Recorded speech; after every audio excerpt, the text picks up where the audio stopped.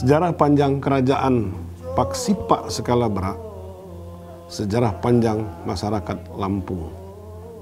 Benda-benda peninggalan masa lampau menjadi bukti keberadaan kerajaan Paksipa skala berat yang kita kenal dengan asal usul Ni Ulun Lampung.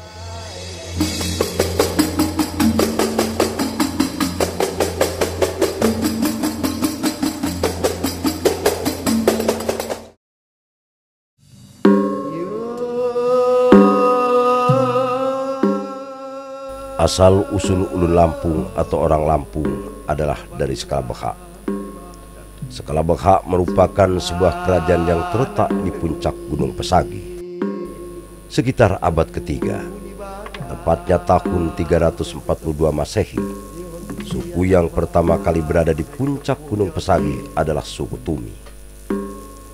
Di mana suku Tumi ini menganut paham animisme yang mempercayai kekuatan yang ada pada benda-benda. Dan saat itu mereka mempertuhankan sebuah pohon melasak pampang atau nangka bercabang dua. Konon Lampung ini dahulu di sebelum abad ke-9 telah berdiri sebuah komunitas budaya, sebuah organisasi kemasyarakatan yang mungkin saat ini disebut sebuah kerajaan yaitu bernama Skalabra. Bentuk daripada organisasi tersebut bisa saja disebut keratuan, kepaksian, kedatuan, tapi untuk terminologi sekarang disebut kerajaan. Kerajaan Skalabra ini adalah merupakan sebuah kerajaan yang tertua di tanah Lampung. Di Lampung ini juga ada sebuah kerajaan yang disebut juga Tulang Bawang. Walaupun sampai sekarang penelitian masih terus dijalankan, tapi kita masyarakat Lampung sangat meyakini ada dua kultur, yaitu dari Skalabra dan dari Tulang Bawang. Raja terakhir daripada Skalabra bernama Ratu Karmo. Dia adalah cucu daripada seorang raja yang bernama Ratu Sangkan, cucu dari seorang raja yang bernama Ratu Mucabawo. Skala bra, skala adalah titisan, bra adalah dewa. Adalah sebuah nama daripada kerajaan kuno tersebut. Yang berada di tengkuk Gunung Pesagi. Yang ada di Lampung Barat sekarang ini. Pada abad berikutnya, yaitu sekitar abad ke-12, suku Tumi yang mentuhankan atau menyembah sebuah pohon melaksak pampang didengar oleh Mujahid dari Samudra Pasai Pagaruyung. Kerajaan ini beragama animisme, mempercayai kekuatan-kekuatan yang ada pada benda-benda, roh-roh nenek moyang, kekuatan-kekuatan dinamisme. Yang saat itu mereka pertuhankan adalah sebuah pohon yang bernama Melasa Kepampang. Pada saat sekitar abad ke-12, pertengahan abad ke-13, pada saat persebaran daripada Islam di Nusantara ini, ada yang melewat Gujarat, masuk ke wilayah barat Indonesia, ada yang langsung dari Hidromi. Konon dari Hidromi ke Samudra Pasai. Dari Sumatera Samudra Pasai, berapa berangkatlah keturunan daripada Sultan Iskandar Zulkarnain. Pertama mereka pengislaman di daerah Pagaruyung, Muko-Muko, langsung menengok sebuah kerajaan animisme yang masih berdiri, yaitu kerajaan Sakalabra. Pengislaman dari kerajaan Sakalabra oleh para mujahid-mujahid dari Pasai itu akhirnya melahirkan kerajaan Paksipa Skalabra yang disebut Kepaksian Skalabra.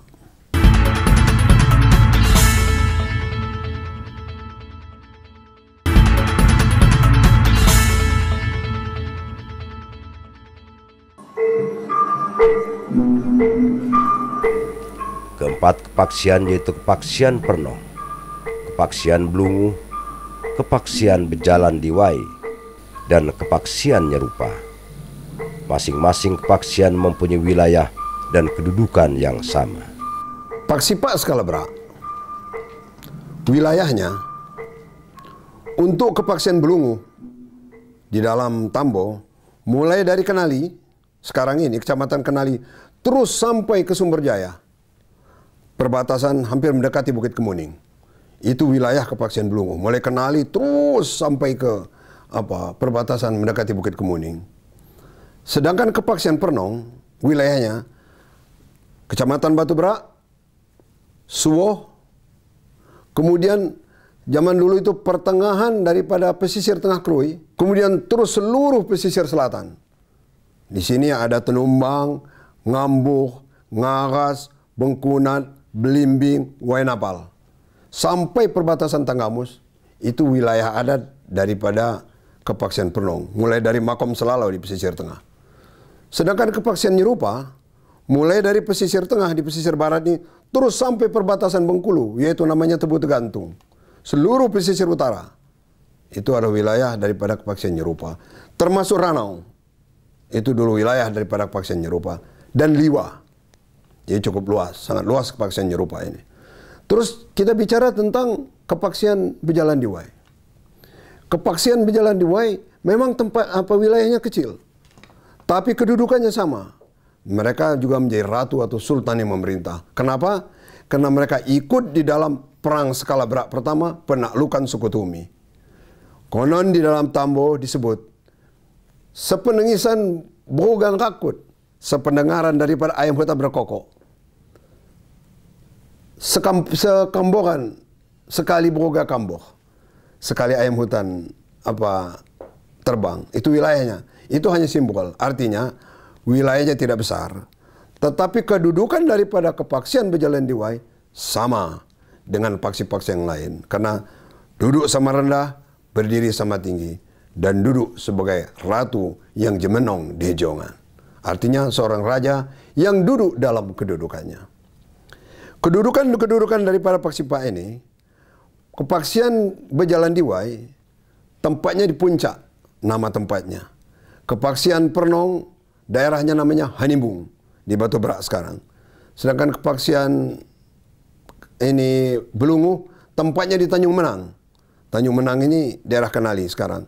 Sedangkan kepaksian Jerupa tempatnya di Tampak Siring di daerah Sukau sekarang. Selain mempunyai wilayah, Kerajaan Paksi Paks Kelabekha juga telah mempunyai aksara Lampung yang dikenal dengan Had Lampung dan dipakai hingga saat ini. Paksipak Sekar Bekha yang berarti titisan dewa mempunyai lambang sendiri-sendiri seperti lambang yang dimiliki oleh Paksi Buai Pernong yaitu Kijang Melipit Tebing. Sedangkan Paksi Pak Skala sendiri mempunyai lambang Cambai Mak Benjujungan yang berarti sirih berdiri tanpa sadaran.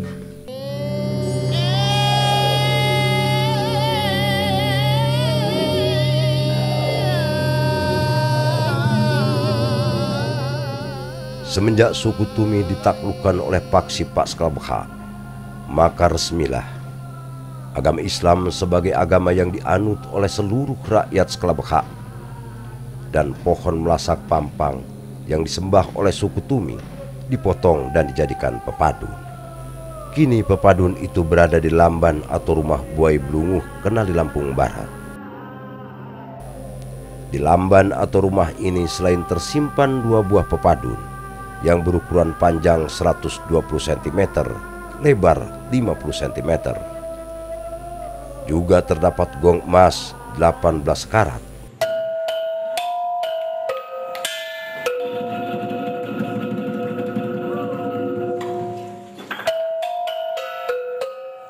Dua buah kursi rotan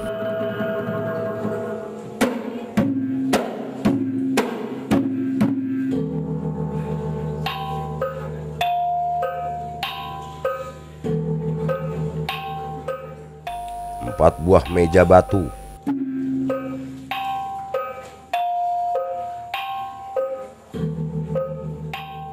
Satu buah lemari dan empat buah meriam, dua di antaranya berukuran panjang 120 cm dengan diameter 5 cm.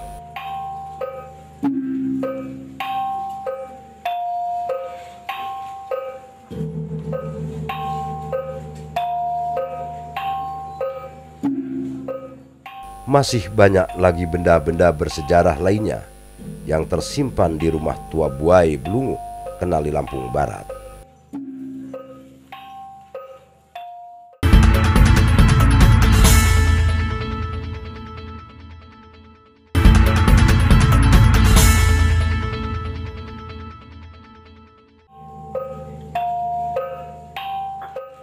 Masih di atas rumah cagar budaya ini, kita dapat melihat silsilah keturunan dari kepaksian Belungu itu Tamong Pangeran Jaya di Lampung, Muhammad Sapei, gelar Sultan Ratu Pikulun, Muhammad Yusuf Effendi, gelar Sultan Permata Jagat.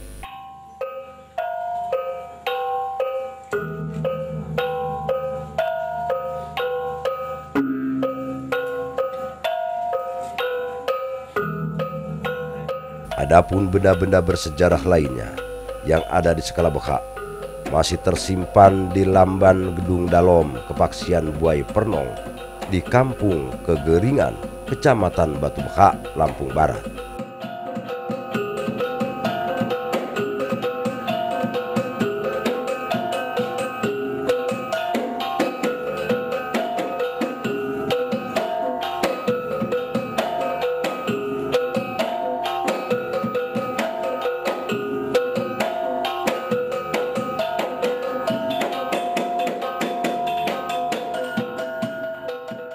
Yaitu dua buah meriam yang terbuat dari tembaga panjang 1 meter dengan diameter 5 cm. Tombak dengan panjang 2 meter.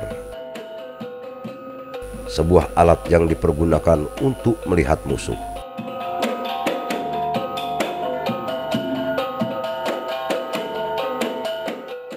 Satu buah meriam berukuran sedang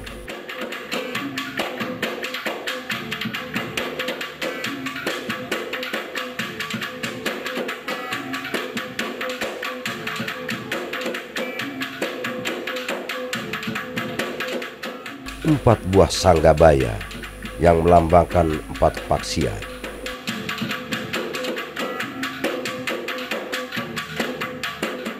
Tombak para pengawal raja dan beberapa pedang yang terbuat dari perak.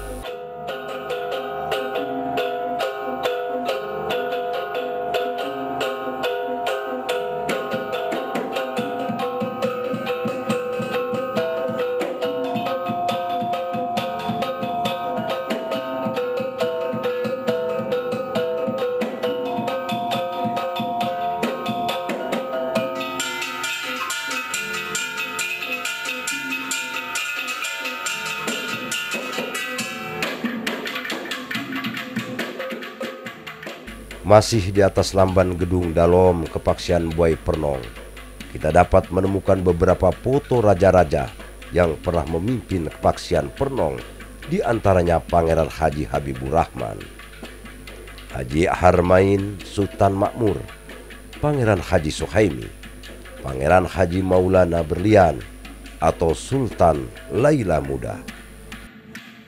Begitu pula pada zaman penjajahan kerajaan Paksi Pak Skelabekha juga bahu-membahu bersatu untuk mempertahankan negara kesatuan Republik Indonesia. Di dalam perkembangannya, pada saat Jepang masuk, tentu apa para sebatin, para bangsawan ini gembira karena mereka sudah mempunyai apa, mempunyai harapan untuk apa, untuk mulai berdiri lagi. Dan kemudian era zaman apa Jepang tersebut muncul nuansa-nuansa patriotis, kecintaan terhadap tanah air, munculnya ide semangat, kesepakatan, kehendak untuk memperjuangkan NKRI. Para bangsawan-bangsawan di hampir di seluruh tanah Lampung, para penyimbang-penyimbang besar, penyimbang-penyimbang tua, anak-anak keturunannya dan para batin, semuanya memperjuangkan NKRI. Sehingga kalau kita lihat dari kepaksian-kepaksian khusus, saya bicara kepaksian Pernong, kakek saya, kemudian paman-paman saya, om-om saya juga, kepaksian Belungu juga ada, terutama dan juga di kepaksian Nyerupa, itu semua melakukan perlawanan terhadap Belanda. Kalau kita lihat dulu dia apa kepaksian nyerupa Sultan Akbar, Khalifatullah Ahmad Shah itu keras melawan Belanda. Akhirnya ditangkap Belanda, hendak dibuang Belanda. Kemudian akhirnya kesepakatan dibuang di apa di diasingkan ke Mekah. Kemudian setelah era kemerdekaan, kalau kita melihat sekarang ini di makam pahlawan Bandar Lampung ini, kakek saya Pangeran Suhaimi, ayah saya, kemudian dua juga putranya, seorang ayah dan empat putra laki-lakinya terbaring di makam pahlawan.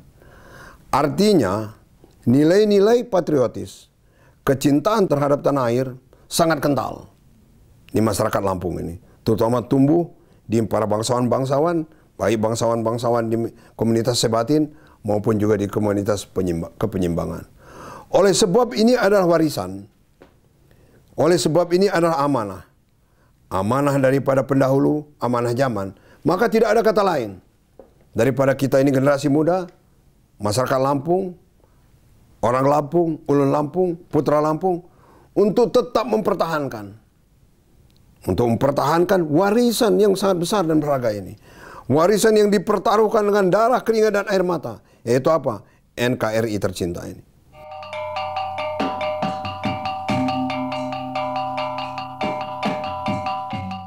Di bawah lamban gedung Dalom, kita dapat menjumpai banyak sekali meriam-meriam kuno yang mempunyai panjang 2 meter dengan diameter 15 cm.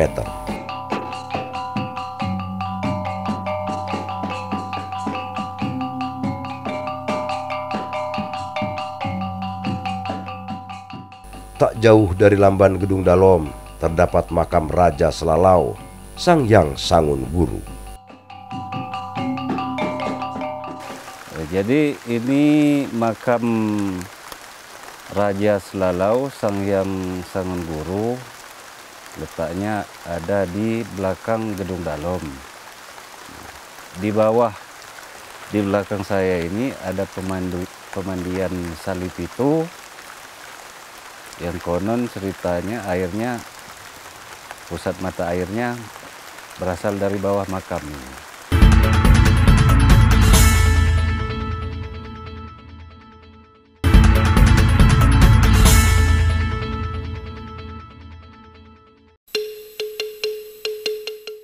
Sampai saat ini kerajaan Paksi Pak Selabekha telah menjadi kerajaan adat Paksi Pak Selabekha yang terus melestarikan sejarah dan kebudayaan agar tak tergerus oleh zaman.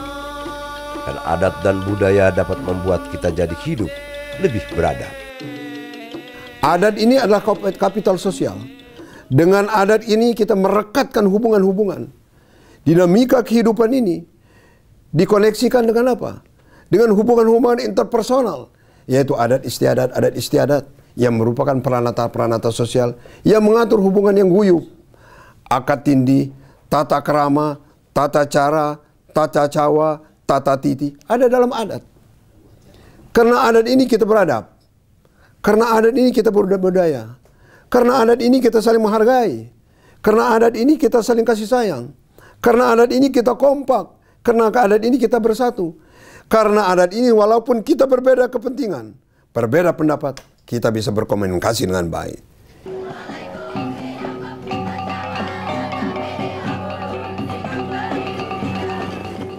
Sebagai bentuk kepedulian pemerintah terhadap pelestarian kebudayaan di skala besar, maka pemerintah Lampung Barat setiap tahunnya menyelenggarakan berbagai macam kegiatan kesenian yang diwariskan secara turun-temurun oleh nenek moyang mereka. Nah, sebagai bentuk kepedulian pemerintah ya terhadap apa namanya eh, kebudayaan-kebudayaan ini, setiap kegiatan ulang tahunnya Lampung Barat kita mengadakan yang pertama ya ada lomba kesenian ya seperti muaya ya apa namanya uh, nari ya. Semuanya itu tidak lain dalam rangka menjaga supaya kebudayaan-kebudayaan tersebut tidak hilang ya.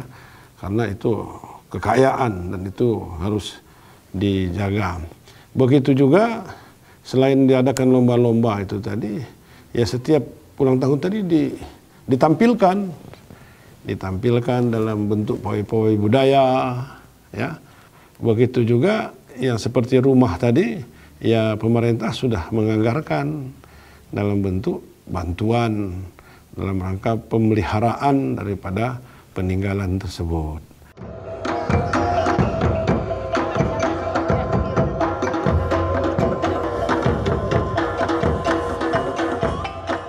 Pemerintah daerah tentunya sangat berharap agar generasi muda skala Bekak dapat terus menjaga dan melestarikan budaya yang ada.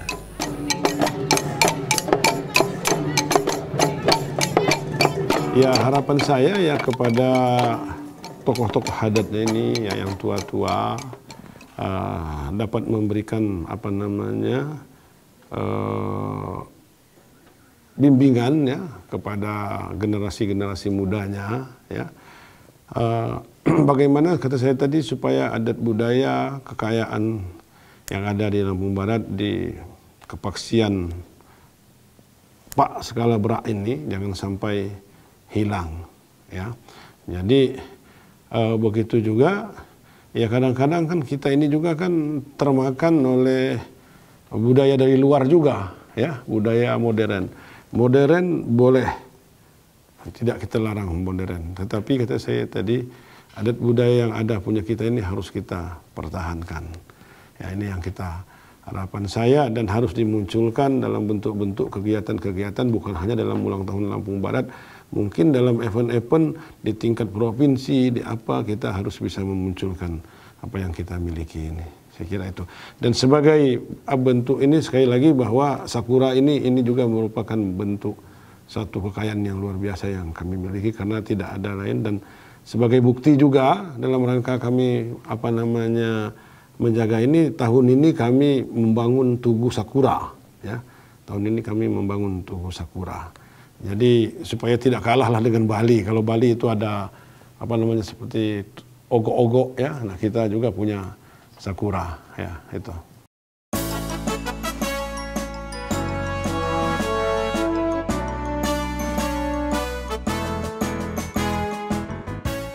Bangsa yang besar adalah bangsa yang terus melestarikan dan mempertahankan budayanya. Kerajaan Paksi Pak Selabeha merupakan sejarah besar yang takkan pernah kita lupakan.